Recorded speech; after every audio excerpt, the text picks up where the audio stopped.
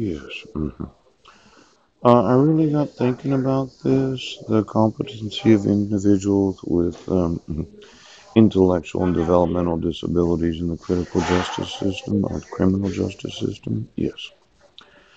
And um, I just wanted to know uh, competent to stand trial. Mm, mm. Now it says a mental disease or defect. Oh. Uh, this was uh, the National Center on Criminal Justice and Disability. Yes. Uh-huh. Uh, people with intellectual and developmental disabilities, the IDD. Yeah. hmm Interact with the criminal justice system at a disproportionately higher rate compared with those without IDD. So it's almost as if those that that can think for themselves, they don't have a disease or a defect. Yes. They don't really work with the criminal justice system. Um, while it's important uh, for criminal justice and disability professionals to embrace the aspirational goals of making the system work better for individuals with IDD, uh, must also recognize the reality of the role of competency determinations. Yes. In the criminal justice system and the impact of findings of competency or incompetency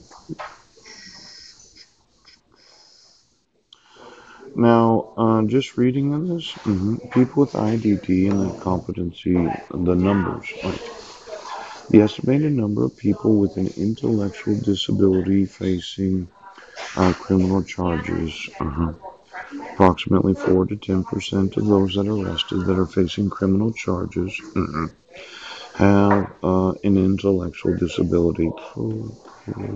Mm. Although self-reporting may skew the data, studies have found that between 4 and 10 percent of adults who have been arrested mhm, mhm, and who are facing criminal charges uh, out of the 100 percent, yes, approximately um, 96 percent of them don't have some sort of disability.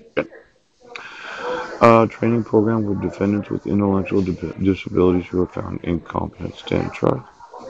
Now, this is very, very important to myself because you you paid witnesses, right, from the state of Washington multiple times, yes, to say that I don't have the mental capacity to assist in my own defense. Yes.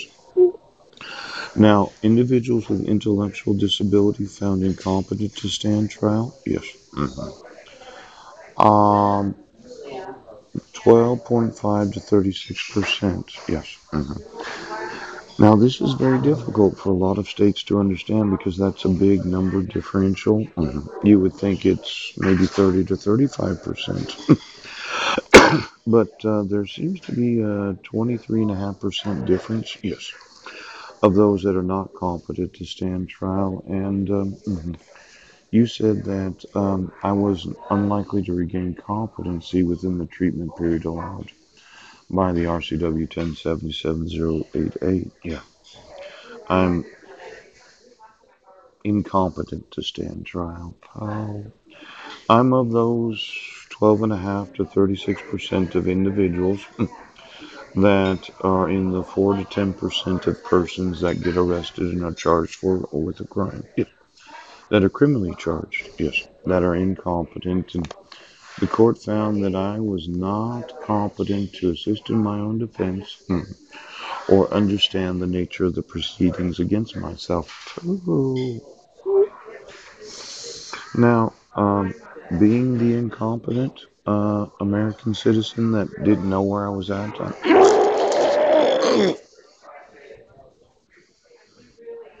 um, your uh, individual that uh, that did the mental evaluation in 25 minutes when I was in jail, yes, and then uh, Phyllis from Western State Hospital, yes. Uh, one study found that 12.5 to 36 percent of individuals, yes, are not able uh, to stand trial. Pooch. I happen to be, well, of the 4 to 10 percent, let's say it was 6 percent, and of the 12.5 to 36 percent, we'll say it was 25 percent.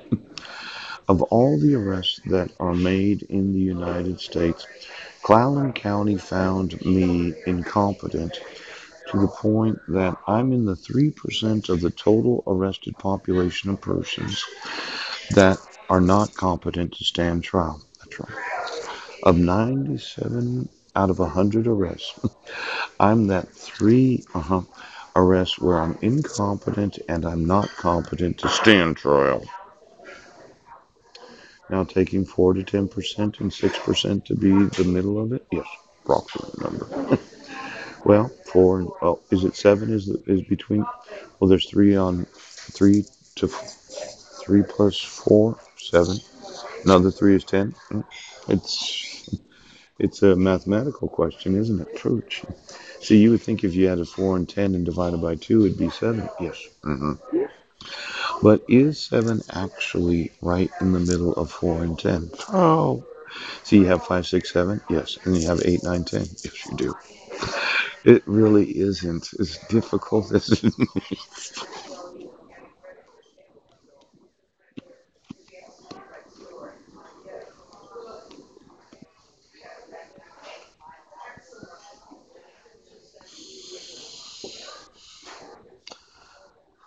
Now, um, just so you know.